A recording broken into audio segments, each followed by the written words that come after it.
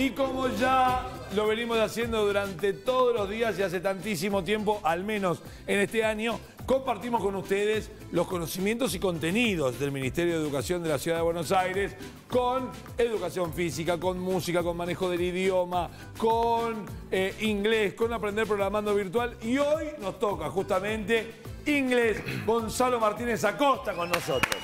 Eh, Gonzalo. Gracias, Nacho.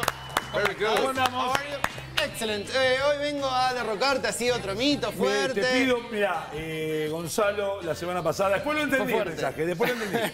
después lo terminé entendiendo. Pero ah, eh, la música para mí es como un- una base. Yo voy a, hoy voy a empezar Yo con creo un, en muchos artistas. voy a empezar con un disclaimer. ¿Vieron cuando aparecen las letritas abajo, Sí. el cartel adelante que dice eh, acá nadie, nadie salió herido o algo así? Bueno, yo voy a empezar con algo que es. eh, Hoy vamos a hablar de un tema muy importante para el feminismo, que está, es una corriente muy importante y lo vamos a ver del lado de inglés. Lo vamos a ver desde quiénes somos, Eh, porque siempre hablamos y siempre hay una crítica muy fuerte contra el inglés que habla del verbo to be, que están años los chicos aprendiendo el verbo to be, pero es algo muy importante, porque el verbo to be es ser o estar. ¿Y qué más importante de decir? ¿Cómo estamos todos nosotros Claro. y quiénes somos? Claro. Eso es importantísimo.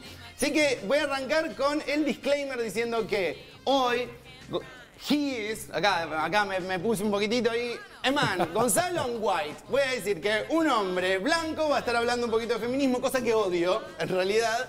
Pero bueno, a mí me tocó hoy estar acá. ¿Odias hablar de feminismo o odias ser un hombre blanco que hable de feminismo? Odio la imagen del hombre blanco que se pone a hablar de feminismo y trata de enseñarte algo. Pero bueno, yo voy a intentar llevarlo para otro lado también y que lo podamos ver de una- un espectro más fuerte. Ok. Y en estas descriptions es que es algo muy fácil. Yo lo estoy viendo con mis alumnos de tercero, de cuarto grado, y ya desde chiquito se puede hacer un montón con el idioma jugando nada más, cambiando palabras.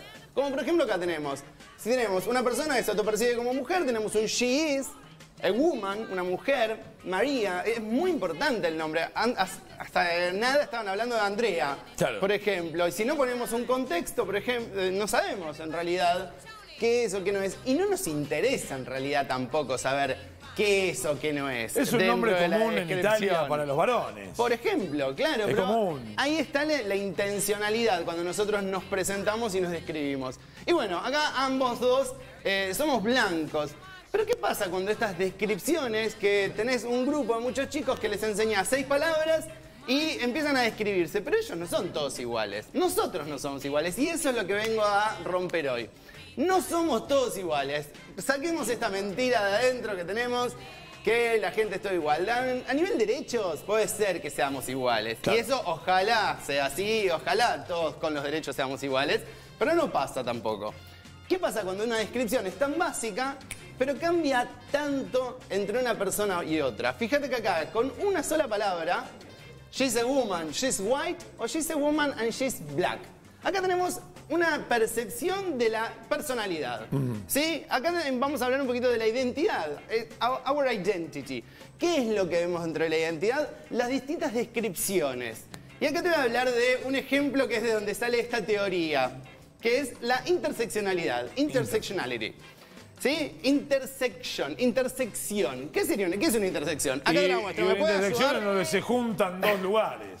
Exacto, cuando se juntan dos rectas. Por ejemplo, acá tenemos una intersection. Bueno, Kimberly Crenshaw eh, hace unos años, tiene esta teoría, tiene más o menos mi edad. Eh, en el 89 hablaba de que hay que empezar a ver a la gente como identidades más allá de una sola arista, más allá de una sola calle. Pero Kimberly tenía tu edad en el 89 o la tiene ahora. No, no, no, tiene, ahora tiene muchos más. Ah, Ella ok, ok. hizo la teoría en el 89. Ah, ok. hizo- Y tenía tu edad cuando la hizo. Más o menos, Ahí aproximadamente. Eh, es, es una. Bueno, ella trabaja mucho, es abogada y trabaja mucho justamente por esto. Por demostrar que hay intersecciones dentro de nosotros, como por, ejemplo puede ser el gender, el género El de uno, o the race, la raza, cómo, cómo uno es, el color de piel, la etnia, por ejemplo. Y ella lo vio desde estos dos lados. ¿Por qué? Saca un cachitito, perdón. ¿Se escribe igual que carrera? Se escribe igual que carrera. Y se dale. dice igual. Perfecto. Dale. Eh, ella decía que, ¿qué pasa cuando, por ejemplo, viene una calle y pasa, pero estás en el medio de ambas calles? ¿Y qué pasa si te chocan dos autos ahí? Es un poquito más despelote del seguro, es un despelote del seguro. Y Pero es bastante más fuerte Total. si te golpean dos lados al mismo tiempo. Bueno, acá entonces ella se dio cuenta, dice, bueno, yo trabajaba mucho y decía, eh, a- al- el hombre negro que está teniendo las mismas opresiones que tengo yo, tiene un montón de problemas. Pero para, yo además de negra soy mujer y tengo muchas más opresiones que me, que me incluyen. Entonces ahí comenzó esta nueva, esta nueva teoría de la interseccionalidad. Y está muy bueno para qué. ¿Y por qué lo traigo como tema de inglés? Porque en esta descripción de decir la identidad está muy bueno para pensarnos como que no somos solamente una cosa. Y en el feminismo justamente lo que se está hablando mucho es pensarnos más allá de que las mujeres son solamente mujeres y que la lucha es porque son mujeres. Porque tenemos un montón de otros aspectos. Y acá vamos a hablar de un montón de, de palabras que pueden eh, armar nuestra identidad. Por eso es como un puzzle, como un rompecabezas. Porque esto vos vas agarrando. ¿Somos todos con todas? Sí. Sí. Pero hay algunas identidades que son más fuertes. obvio. Obviamente. Tenemos la education, que no todos los niveles que tenemos son los mismos, el gender ya hablamos. Culture, la cultura. Algunos, bueno, se dijo que, que por ahí los docentes no, tenemos, no somos muy cultos algunos, pero bueno, eh, hay distintos niveles de cultura que pueden ser, eh, que nos dan distintos aspectos Sí. en la vida. La habilidad no es lo mismo para una mujer que tiene una- un problema en un brazo porque tuvo que trabajar toda su vida, una mujer que no tiene movilidad en las piernas, por ejemplo. Eh, la edad no es lo mismo para una chica que una mujer de, no sé, 45, 50 años conseguir un trabajo, por ejemplo. Sin duda. Sexualidad, ni hablar, no podemos hablar de una chica eh, heterosexual blanca de Palermo que tiene- va a tener muchos menos problemas cuando esté en la calle o cuando esté eh, en lugares sociales que por ahí una chica eh, bisexual o lesbiana que esté, no sé, en el medio de un pueblito de Jujuy. Total. Va- estamos hablando de realidades totalmente distintas. Y acá en eso te voy a hablar de dos palabras más. Una es oppressions y la otra es privileges. La opresión y el privilegio. ¿Por qué? Porque estas aristas nosotros la vemos como opresiones muchas veces y decimos, bueno, la mujer tiene eso como opresión primero. Pero muchas veces eso puede partir de un privilegio también. Porque yo acá te acabo de decir un- una orientación sexual que muchas veces es un privilegio frente a la otra. Sí. O como por ejemplo la clase. Que es esto que te digo, no es lo mismo alguien de clase alta que alguien de clase baja. Ahí tenemos en una misma arista un privilegio o una opresión. ¿Y cómo es- esto se sobrepasa y sobre, se solapa una cosa con la otra y forma obstáculos mucho más difíciles en la vida? La apariencia. Yo tengo mu- muchas amigas que tienen muchísimos problemas para ir a comprar ropa, por ejemplo. Ropa y ropa de mujer, porque tenemos un problema, un problema mucho más grande con los talles que, Sí, que claro. los hombres. Entonces ahí fíjate cómo de repente so- solapamos dos y apareció un problema un poco más grande. Y en esto acá vemos cómo se forma una persona y cómo esas identidades, esas palabras que son muy fáciles de armar, son muy fáciles de que los chicos puedan conseguir, pueden describir una persona. Y mira como en una frase tan básica tenemos un she's. A woman, she's black, she's middle class, she's Venezuelan, porque la identidad de la nacionalidad también te, te forma uno, and she's middle aged.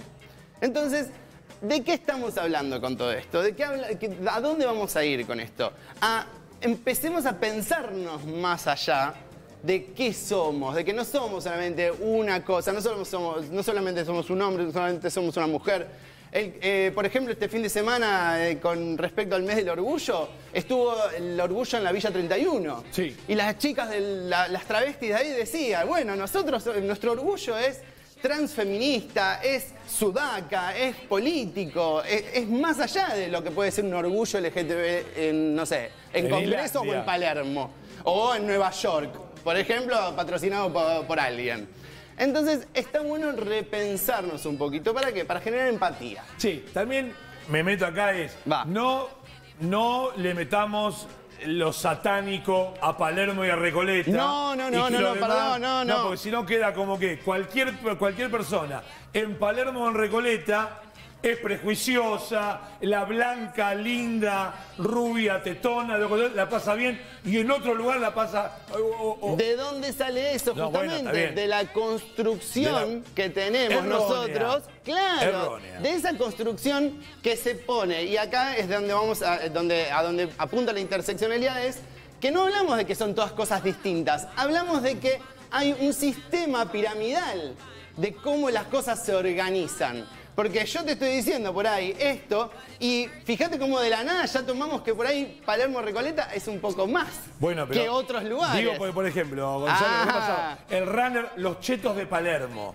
Y las tres medallas de oro que Argentina tiene en el maratón no eran chetos de Palermo. Ninguno. De hecho, hoy los representantes más importantes del atletismo argentinos no son chetos de Palermo. Ahí es donde apunta también. Acá vamos a Pero pegarle el palo. Yo no me voy a meter, No, pero está, pero la muchos- meritocracia está bien, ahí en el medio. pe- Pero muchos de los que dicen los chetos de Palermo son los que dicen gender, race, age. No me tomes a mal, yo soy libre. Digo, pará, ta- estamos clarísimo. Pero vos a mí me señalás como Eh. el que voy con tres clavos y un martillo clavando putos por la calle. Eso es lo que voy diciendo y lo que digo este de sistema piramidal Claro. es lo que pasa con todos estos aspectos. Es cuando ponemos un aspecto por sobre otro. Total. Y eso es lo que está mal. Y por eso es que tenemos que empezar desde chicos, con los chicos, a entender que la igualdad se basa en la diversidad. Claro. Somos todos iguales. Y fíjate como acá, por ejemplo, tenemos el language, class and gender, lo tenemos en ambas.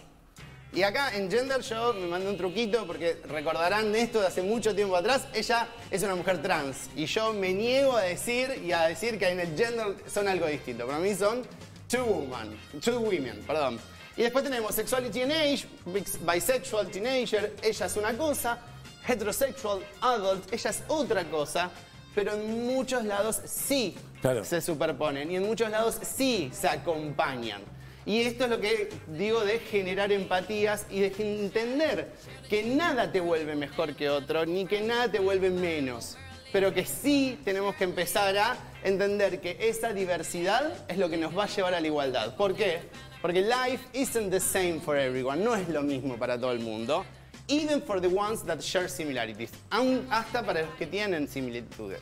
Así que vayamos a entender que esto nos enriquece y que no uno ni el otro es mucho Total. mejor y seamos Sí. más empáticos y aprendamos a, iden- a identificarnos nosotros y a identificar que yo tengo estos privilegios y puedo ayudar a otro, el otro tiene estas opresiones y yo se las puedo sacar porque no se las voy a inculcar. Gonzalo, muchísimas gracias por A visitarnos. ustedes siempre por el lugar. Vamos a una tanda. Cuando regresemos, nos metemos en los cuadraditos de limón. Vos ya te ibas, ¿no? Porque no tenemos muchos cuadraditos de limón. Eh, a mí me gusta mucho, no me gusta el chocolate, así que. No, los chocolates son justo de limón. Por eso. Te tenés que quedar. Y bueno, Bueno, te comparto del mío para que veas que pongo onda. ¿viste? Para entender que. eh, pero la igualdad. Por la igualdad del Por la igualdad, a la mitad. Ahí estamos. Muchísimas gracias. Volvemos en instantes. ¿eh? Se vayan que ya